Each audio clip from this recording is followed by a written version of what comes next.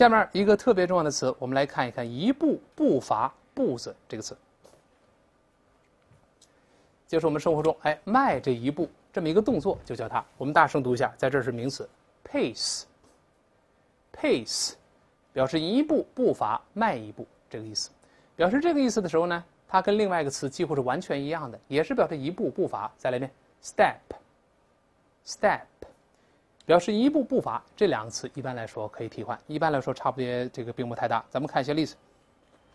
Take one pace forward，叫往前迈一步，或者说 take one step forward，向前迈一步，对吧？这么一个动作。再比如说，quicken one's pace，或者 quicken one step，什么意思呢？加快了某人的脚步。quicken 表示使变快一些，呃，使变快一些，的加快了步伐，这是脚步或步伐，可以用它。这两个词是同义词。但是 pace 呢有一个派生意，这个 pace 还可以表示节奏或者是速度，节奏或速度，因为步伐有快有慢，它表示节奏速度好理解。表示节奏速度的时候呢，一般来说我们可以换成另外一个词，就是音乐的节奏，这个 tempo 也行。我们分别再读一下 pace，tempo，再来一遍 tempo，这个本来表示音乐的节奏，但派生意都可以表示速度啊，这个多做比喻意了，比如说。The pace of life，生活的步调；the tempo of life，生活的节奏是类似的，就是快节奏的生活。你看，the fast pace of modern life，当代快节奏的生活，就当代生活的快的步调，也可以说成 the fast tempo of modern life，当代生活的快节奏，也就快节奏的当代生活。表示这个含义，这两个词是可以替换的啊。我们先把这个呃。两个含义的替换，先记住啊。那么 pace 呢，还有一个呃比较常见的一个习语，顺便可以记住，就是跟上什么什么，不落后于什么。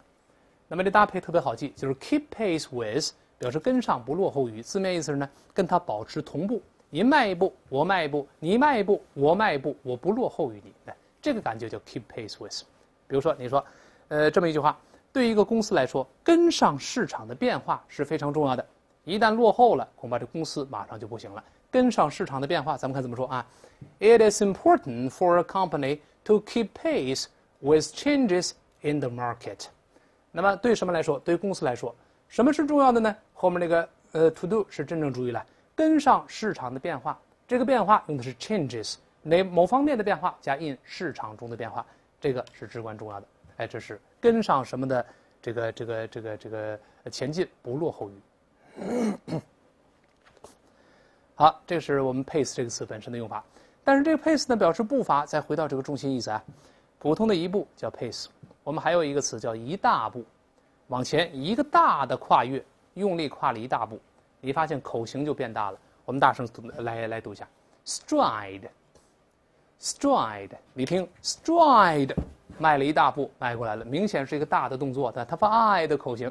这个呢也有一些重要的表达，比如说 make strides in，取得了长足的进步，这跟中文这类似，长足的进步就 make strides in，注意加介词 in，这个地方用复数。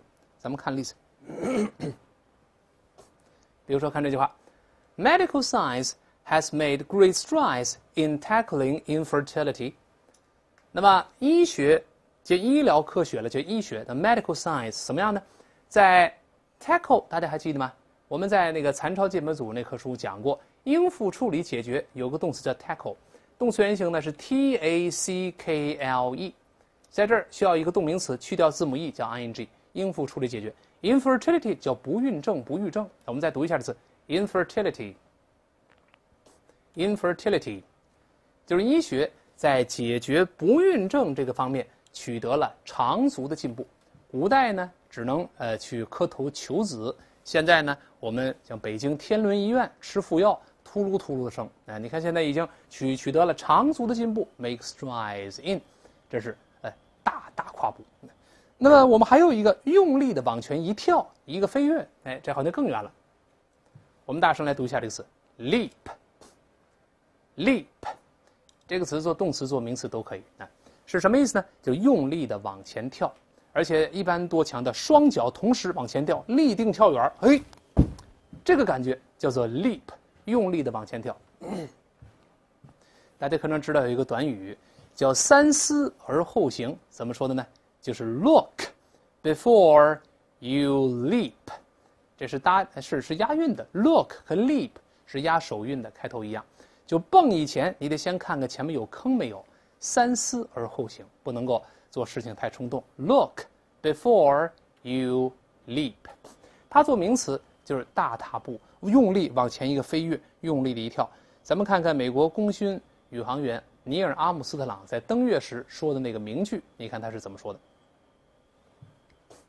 就是这个哥们儿啊，他说什么呢？That's one small step for a man, one giant leap.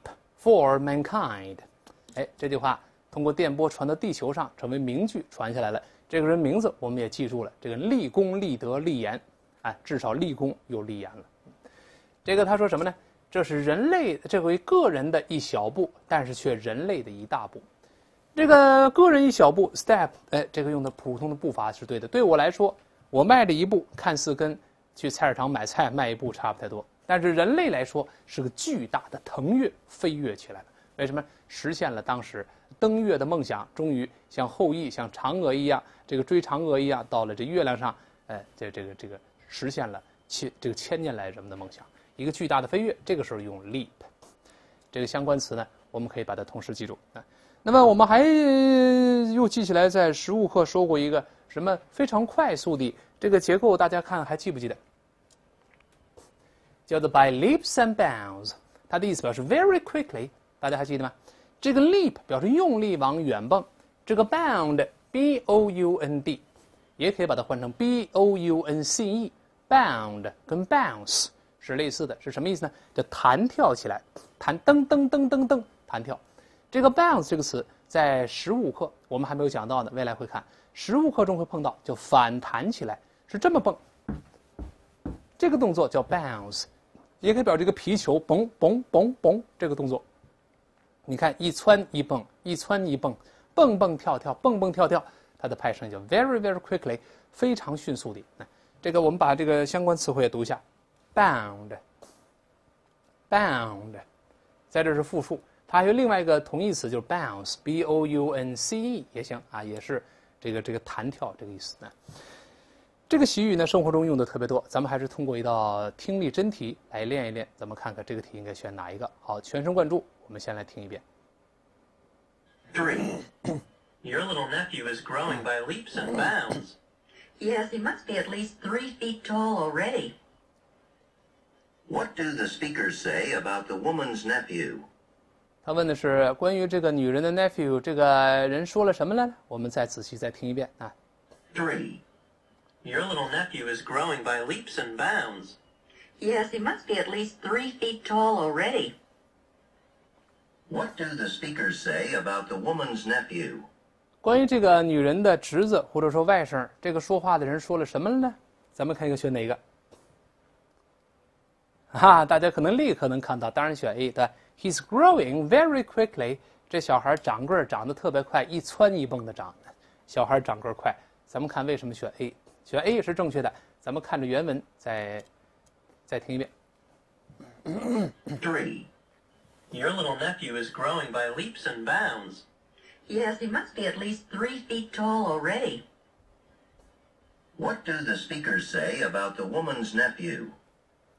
一男一女对话，这个男的说：“你的这个小 nephew，当然我们不知道是侄子是外甥了。咱比如说他他都叫 nephew，比如说侄子吧，你的小侄子啊。”这一蹿一不一蹦的长个儿啊，三天不不不见，哎，长这么高了的，这大小伙子了都，对，长长个儿长得真快。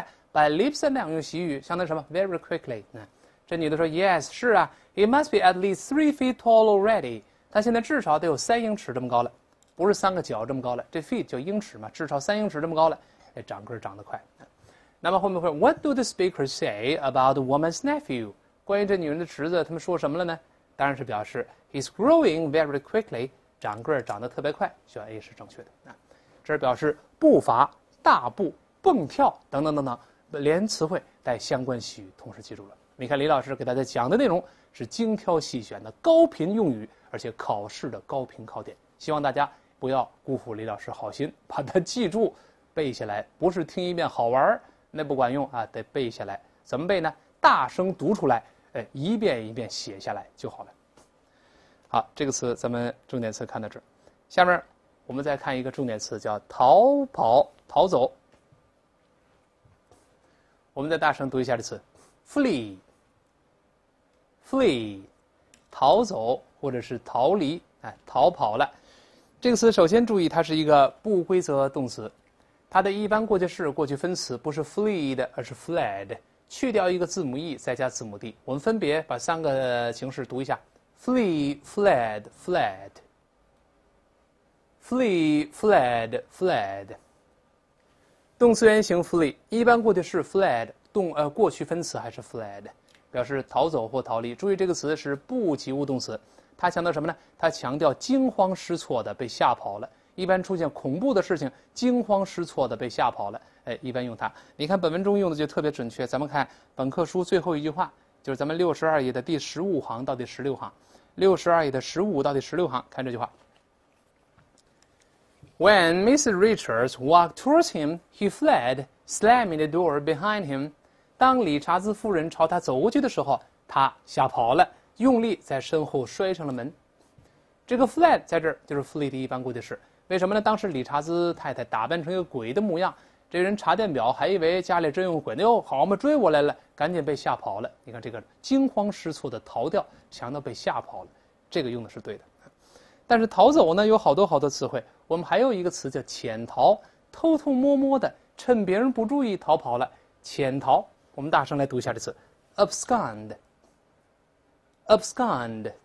注意这个不是被吓跑了，是潜逃，潜水那个潜，偷偷摸摸的，趁别人不注意跑了。常见搭配有，比如说 abscond with money，是什么意思？就是拿着钱偷偷跑了，携款外逃了。哎，用它刚刚好，abscond with money。这是偷偷摸摸跑了，还有一个也是逃，叫做跟情人跑了，叫私奔了。哎，私奔了，我我们先大声读一下这动词，elope。elope，这是为了爱情，为什么爸爸妈妈不同意啊？双方老人不同意，但是两个人呢非常希望到一块儿。你看，elope with somebody，跟某人，呃，跑了，跟某人就私奔了。本来呢两个人情投意合。但爸妈不同意，说你这不行啊，孩子太小，才四岁。妈妈不同意，大点再说。但但是呢，趁着妈妈不注意，小手拉小手跑了，elope with somebody 与某人私奔了，这也是个逃走。但是呢，我们有一个词是没有什么特殊含义的，就是 escape，就是逃走了。这个没有什么特殊含义了。我们说越狱 escape from the prison，哎，注意这几个词一般来说都是大多数都做不及物动词来用，把它记住就好了。这是逃走、逃离，放在一块记住。好，这个重点词我们看到这儿。那么下面最后一个比较重要的词，咱们看一看。砰的一声，用力关上某个东西。我们大声再读一下这词，然后跟着老师大声来，注意嘴要咧开，发哎，把这个嘴角往往两边分开，大声来，slam。最后 m 一定把嘴唇闭得紧紧的啊！再来没，slam，slam。你口型大，口型大，啪的一声，用力关上，一般指什么？关门呐，关窗户啊，等等等等，是表示这个意思。而且表示这个意思的时候呢，我们先看看它怎么来用啊。及物不及物都行。你先看不及物动词，the door slammed shut，这个门咣的一声关上了，这是不及物动词。这门关上咣当，可能有人摔门或者是风大，咣门这关上了。slam 注意是重读闭音节双写 m 加 ed，后面还可以加补充说明词 shut，没有这个 shut 也行，the door slammed 也行，或者 the door slammed shut，这个也行。或者我们用及物动词用法，别摔门，别咣咣摔门，轻点，孩子睡觉呢。的，我们大声读下，Don't slam the door。Don't slam the door，就不要咣咣的去摔这个门，这是及物动词了吧？哎，使门用力关上，及物不及物都行啊。而且呢，大家记住，表示这个含义的时候呢，它跟另外一个词几乎是一样的，就是也是大声的去关门，而且又是及物又是不及物，这两个词真是可以替换，完全一样。注意发音，不要读 bang。那不 on 棒，那那是汉语拼了，不是发 on 的音。那前面这个字母 a 呢，还是咱们以前说的发梅花，像梅花一样这个 a 这个声音。后面 ng 舌根拱上去，先发 a，再拱舌根发 n 啊，n 啊，不是 on 啊，是 n 啊。我们大声读一下，bang，bang。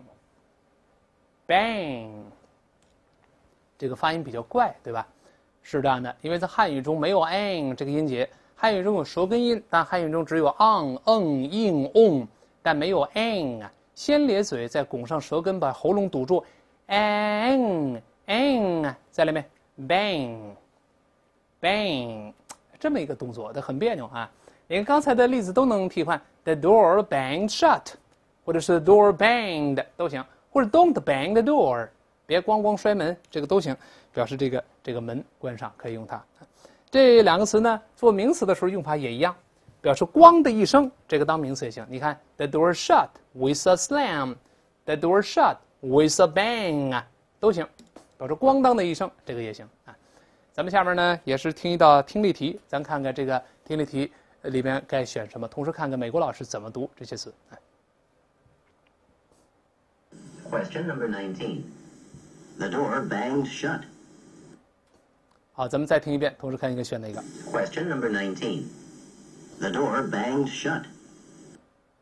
The door banged shut，大家看应该选哪一个？咱们看很容易吗？明显选 D 选项，The door closed loudly，这个门大声的关闭了，大声的关闭了。为什么呢？我们看着原文再看一看。Question number nineteen, the door banged shut. The door banged shut，这个门咣当一声关上了。答案当然是 D，门大声的关闭了就好了。而且注意不要读 bang，而是 banged shut，bang 啊，这么一个口型就对了。好，这是第十三课，生词不多，但重点词不少，请大家仔细的多次收看，把重点把它记住，在笔记本记好，反复收看。我们这笔记本平时没事就放到包里，我们在等车的时候，在车上、公交车、地铁里没事拿出来翻一翻啊，多看一看，多翻一翻，把知识点记住，这我们英语能力才能突飞猛进的、实质性的、扎实的提高。好，单词我们跟老师先学到这儿。